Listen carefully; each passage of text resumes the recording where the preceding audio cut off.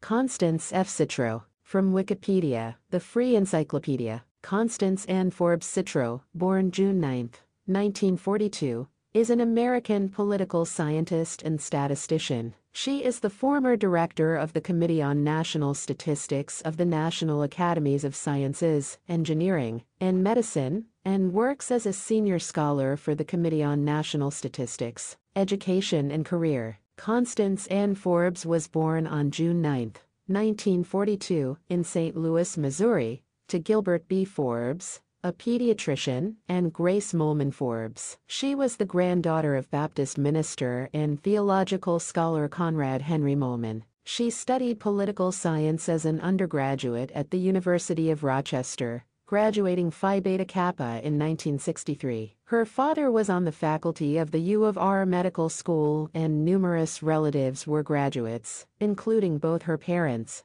her late husband, Joseph F. Citro, 1941 to 2020, whom she married on June 19, 1965, and their son Jeremy F. Citro. She went to Yale University for a master's degree and PhD in political science, studying under James David Barber. Citro joined the Committee on National Statistics in 1984 and directed the committee from 2004 to 2017. She was previously Vice President of Mathematica Policy Research, Vice President of Data Use and Access Laboratories, Dual Labs, and Social Science Analyst with the U.S. Census Bureau. Citro became a Fellow of the American Statistical Association in 1987. She is an elected member of the International Statistical Institute. She won the 1997 Roger Herriot Award for Innovation in Federal Statistics for contributions including directing panel studies on poverty measurement,